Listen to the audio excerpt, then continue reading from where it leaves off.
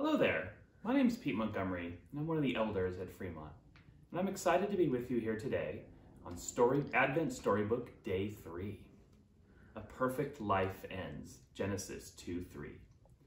For all have sinned and fall short of the glory of God, and are justified by his grace as a gift through the redemption that is in Christ Jesus.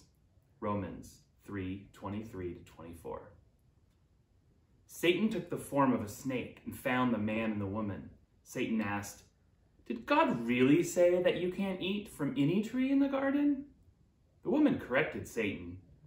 God said if we eat from just this one tree or even touch it, we will die. The serpent lied. You all won't really die. If you eat from it, you will be like God, knowing good and evil. The delicious fruit looked good. It could make them wise. Everything God made was wise. Why would God keep a good thing from them? The woman decided to disobey God.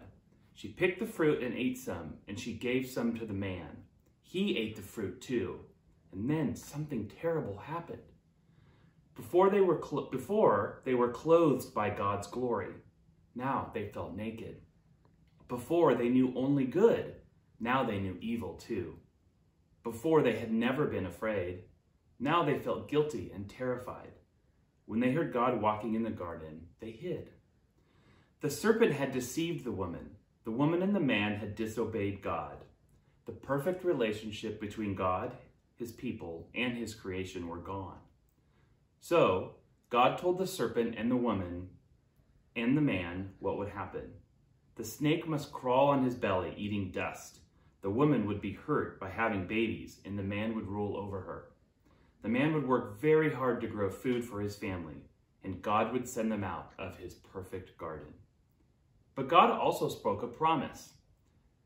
One day, a son of woman would crush the head of the serpent, and the evil that Satan had started would end. God killed an animal and made clothes for Adam and Eve. They left the beautiful garden. Now, death sadness, fear, and evil were part of their world. Their only hope was God's promise. So the question for today is, what did they hope for?